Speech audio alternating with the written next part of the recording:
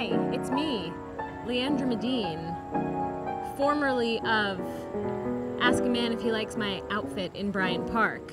Today we're in Washington Square Park offering free advice at the discounted rate of free. Reasons I believe I'm qualified to give free advice are this polo. When have you ever had reason not to trust someone wearing a polo? The, shoes on my feet, which are fur lined in spite of the 88 degree August day with which we have been blessed. And finally, these ice colored lenses. Because if you can't trust someone who's going to see the world through rose colored lenses, you can rest assured that someone in ice colored lenses is going to give it to you real.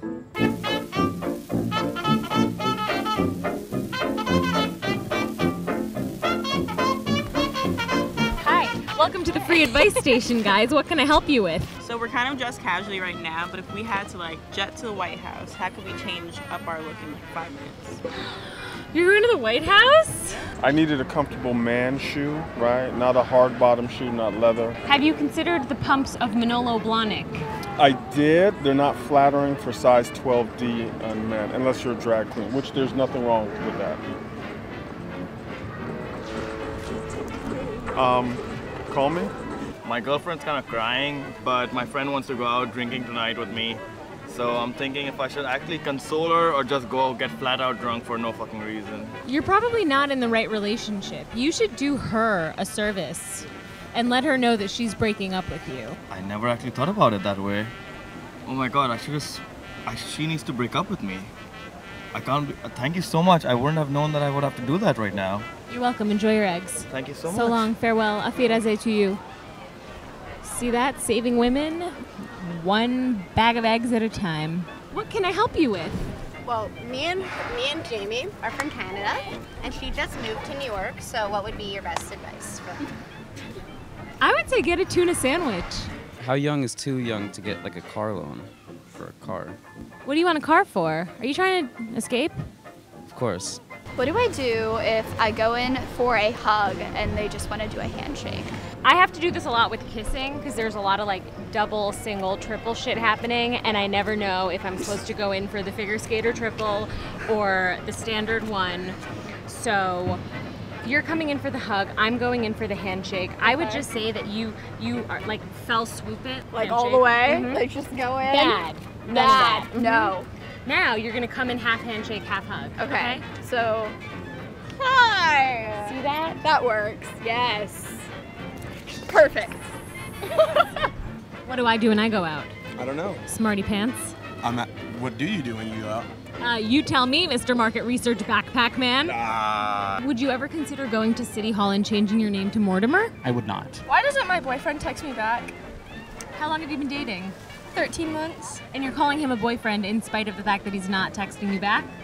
Yes. How frequently do you see him? Every day. How do you connect if he's not writing you back? It's complicated. I think this seems like a classic case of beautiful girl unaware of her beauty, trapped in relationship with ugly man, unaware of his ability to use opposable thumbs. All hail the women with opposable thumbs and the ability to use them. So if you had to prioritize your three favorite activities, they would be sex, then walking, then talking. Exactly, yes. And in that order. That's just tremendous. Ask not what the city can do for you. But what I can do for the city? No. But what fun can do for inside your pants. Ah, okay. Interesting. Thank you. Woo! do you know how to jump rope? I know how. I could probably do two, Two jumps? like two jumps. So if I were you, I would aim toward 10 Get to 10, and then and then 11. I'm planning to go on vacation soon, and I'm not quite sure where I should go. You got any ideas? Well, first things first. Vacation, my friend, is a state of mind. Ah. You think I should take off my shirt and suntan? I would. I did. You look great. That's joie de vivre, man. I've got joie de vivre and a certain je ne sais quoi. Why are you still here? Leandra, I have a little bit of a conundrum. I'm not sure if I should take a train to New Jersey this evening or wait for my husband to leave at 4 o'clock and sit in midtown traffic with him. Well, Leandra, what are the upsides of taking the train? Well, you know, if I take the train, I'll have some time to myself. I'll think about things. I'll be able to talk to myself. You know, really, really narrate my dream. Sounds like we both know what you need to do. I don't know what you're talking about. If I were you, and as fate and your life would have it, I am you, I would do neither of those things. Instead, hop on a plane and head to, oh my god, I know where this is going Romania.